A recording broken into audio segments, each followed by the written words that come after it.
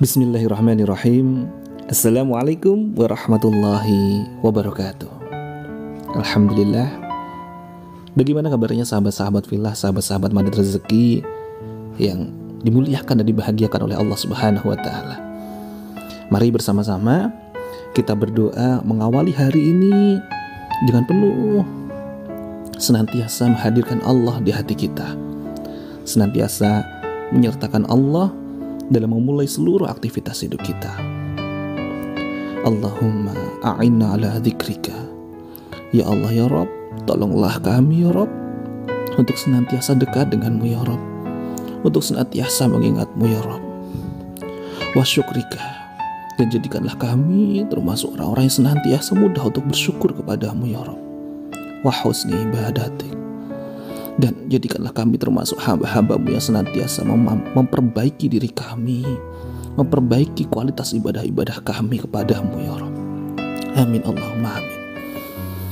Semoga dengan doa bersama-sama ini menjadikan diri kita termasuk hamba-hamba yang senantiasa hamba-hamba yang taat hamba-hamba yang senantiasa disayangi dicintai oleh Allah subhanahu wa ta'ala. Amin Allahumma amin Alhamdulillah setelah kemarin ya kita menyimak voice note di voice note di pagi kemarin ya Masya Allah. Banyak sekali sahabat-sahabat villa kita yang mulai japri ada yang konsultasi ada yang bertanya bahkan ada yang sudah mulai tahadus bin nikmah karena tidak ringan untuk menyampaikan di grup ada yang beberapa yang wapri. Ada yang menyampaikan Alhamdulillah setelah mengamalkan ilmu Allah yang sangat luar biasa ini Allah hadirkan ya Masya Allah. Buah hati ya. Jadi Alhamdulillah ternyata sudah berjuang luar biasa ikhtiar belum dikaruniai keturunan dan alhamdulillah sudah dinyatakan positif hamil masya Allah alhamdulillah. Tentu semuanya adalah dari izin Allah bismillah karena hadza min fadli robbi semua ini adalah bagian dari karunia Allah subhanahu wa taala. Ada pula yang masya Allah ya dari ikhtiarnya mendatangkan berbagai bentuk kemudahan-kemudahan Allah. Ikhtiar untuk senantiasa semakin dekat dengan Allah subhanahu wa taala ada yang masya Allah daftar umroh. Ada yang yang dua orang daftar umroh dan langsung lunas cash ya masya Allah alhamdulillah.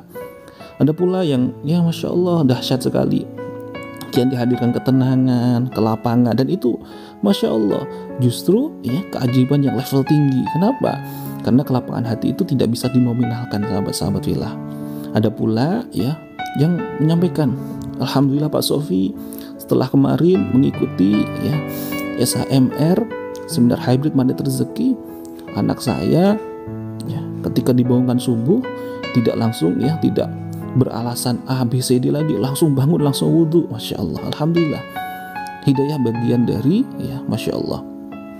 Yang Allah karuniakan kepada kita dan yang Allah pilih. Maka mari senantiasa kita syukuri setiap hari demi hari ini. Kita bisa bernafas secara gratis. Ini adalah bagian dari keajaiban dari Allah Subhanahu wa taala bagaimana jantung yang sangat luar biasa ini masih bisa berdetak ini adalah bagian dari keajaiban dari Allah Subhanahu wa taala. Maka mari sahabat-sahabat filah, mungkin saat ini ada yang hatinya belum lapang, mungkin ada yang saat ini masih menunggu di mana datangnya keajaiban itu. Yuk bareng-bareng kita belajar bersama-sama di voice note pagi hari ini. Bismillah sahabat-sahabat filah. Tentu kita tahu sahabat-sahabat filah di mana kemarin kita sudah bahas bahwa ya ada pola keajaiban para hamba pilihan. Salah satunya adalah ya ketika Allah menciptakan manusia itu ya pada dasarnya fitrahnya itu hakikatnya adalah kita itu dimuliakan dan dimanjakan oleh Allah. Pengen apa pun ya masya Allah Allah ijabah. Selama apa?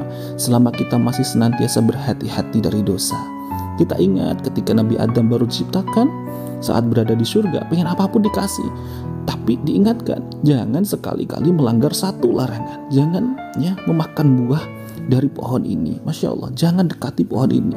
Tapi ketika mulai kita melanggar satu saja perintah Allah, melanggar larangannya Allah, maka keajaiban demi keajaiban semakin berkurang. Maka kita belajar saat kita baru lahir yang masih fitrah, masih bersih, pengen apa pun senantiasa Allah ijabah. Pengen makan, pengen asi, pengen ganti popok sekalipun, Allah kirimkan bantuannya, Allah kirimkan pertolongannya. Lantas, saat kita sudah berada di usia sampai dengan detik ini, ketika kita masih menunggu-nunggu di mana keajaibannya, di mana keajaibannya, maka hal yang harus kita lakukan bukan lagi fokus kepada bagaimana cara keajaibannya datang, tapi bagaimana caranya kita senantiasa membersihkan perisai-perisai rezeki kita agar diri kita bisa kembali menjadi makhluk yang ajaib. Sebagaimana sebagaimana Nabi Adam pun ya dengan istighfarnya Rabbana dzalamna anfusana ila ya. Rabbana dzalamna anfusana wa illam taghfir lana wa tarhamna lanakunanna minal khasirin. Menjadikan Nabi Adam kembali disatukan keluarganya, kembali disatukan dengan istrinya Bagaimana istighfarnya Nabi Yunus menjadikan keajaiban keluar dari perut ikan paus dan seluruh hamba-hambanya, hamba-hamba Allah di sekitarnya, umat-umatnya, kemudian beriman kepadanya. Maka bagaimana dengan Rasulullah? Ya, masya Allah dari riwayat ya sahabat Sayyidina Umar bin Khattab radhiyallahu an beliau menyampaikan beliau pernah melihat dan mendengar Rasulullah sekali duduk itu beristighfar Rabbi ghafirli wa tub alayya innaka antat tawwabur rahim. Rabbi firli Ampunilah aku ya Rabb wa tub alayya. Terimalah taubatku ya Rabb. Innaka antat tawwabur rahim. Sesungguhnya engkau maha penerima taubat dan engkau maha penyayang. Masya Allah.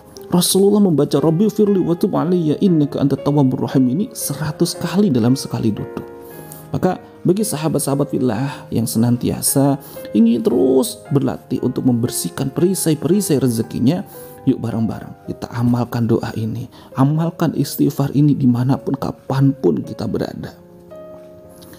Coba deh bayangin sahabat-sahabat filah, ketika Rasulullah Shallallahu Alaihi Wasallam bersabda, Barang siapa yang melazimkan mendawamkan istighfar, maka Allah hadirkan kegembiraan dari kesedihannya, kelapangan dari kesempitannya, dan Allah hadirkan rezeki dari arah yang tidak disangka-sangka.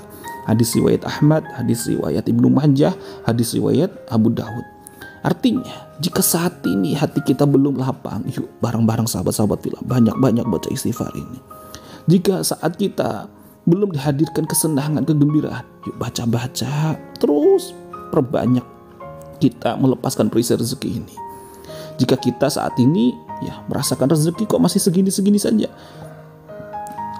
Artinya kita harus nantiasa praktekkan ini. Dan mempraktekkan ini bukan hanya sekedar bilafdi, tapi sertakan pula dalam hati. Ya Allah ya Rob, saya salah ya Rob, saya punya salah, banyak sekali dosa-dosa saya. Ampunilah saya ya Rob, saya siap belajar dan saya tidak akan mengulanginya lagi. Terus dawamkan, terus amalkan, terus sehingga lisan ini senantiasa basah dengan dikir-dikir kita. Maka bismillah sahabat-sahabat villa, yuk kita mendownload keajaiban, menjemput keajaiban dengan senantiasa kembali bersimpuh menghadap kepada Allah Subhanahu wa taala. Terima kasih sahabat-sahabat Villa, semangat pagi. Semoga di pagi hari yang indah ini saya doakan seluruh sahabat Villa yang dimudahkan dilancarkan seluruh aktivitasnya masing-masing. Masya Allah. Dan ini nanti kita akan share ya sebuah doa itiraf, sebuah doa pengakuan kalau sahabat-sahabat filah benar-benar bisa meresapi, menghayati dan mengamalkannya, ini pula bagian dari ikhtiar kita sebagai wasilah untuk dihadirkan ampunannya Allah Subhanahu wa taala. Barakallahu fikum sahabat-sahabat filah. Sampai berjumpa kembali di nasihat diri selanjutnya. Saya Muhammad Sofi Al-Khairadai Sertifikat trainer magnet rezeki. Wassalamualaikum warahmatullahi wabarakatuh. Salam satu sama dan terhubung